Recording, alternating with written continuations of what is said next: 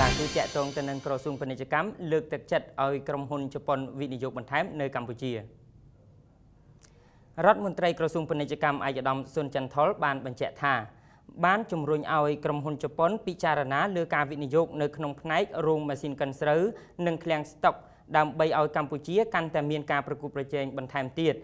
និងបង្កើនទំហំនាំចេញអង្កររបស់ខ្លួនទៅកាន់ទីផ្សារក្នុងតំបន់និងពិភពលោក។ ឯកឧត្តមបានមានប្រសាសន៍បែបនេះនៅក្នុងជំនួបពិភាក្សាអាហារពេលល្ងាចជាមួយឯកឧត្តមយូជីគូម៉ាម៉ារឹឯកអគ្គរដ្ឋទូតជប៉ុនប្រចាំកម្ពុជានិងតំណាងមកពីក្រុមហ៊ុនជប៉ុនធំធំកាលពីចុងខែវិច្ឆិកាឆ្នាំ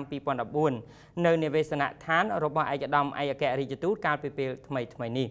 នៅក្នុងជំនួបនោះដែរឯកឧត្តមក៏បានស្នើឲ្យឯកឧត្តមឯកអគ្គរដ្ឋទូតនិងតំណាងនានាពិចារណាឲ្យមានការរៀបចំជំនួបពិភាក្សាអាហារជាមួយបណ្ដានាយកប្រតិបត្តិក្រុមហ៊ុនជប៉ុនធំធំផ្សេងទៀតដោយប្រព្រឹត្តទៅជាទៀងទាត់ដើម្បីចែករំលែកបញ្ហា និងកង្វល់នានាជាមួយរាជរដ្ឋាភិបាលកម្ពុជាព្រមទាំងដើម្បីតាមដានការពិគ្រោះយោបល់និងចំណាត់ការផ្សេងៗផងដែរ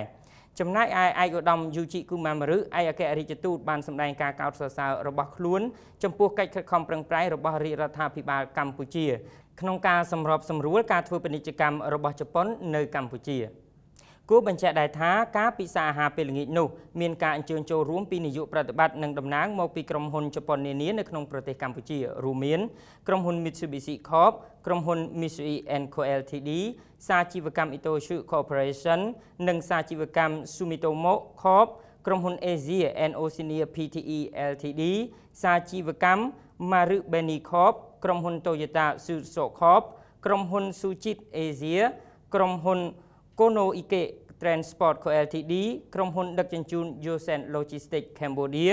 ក្រុមហ៊ុនដឹកជញ្ជូន Transi Logistics និងអង្គការជេត្រូ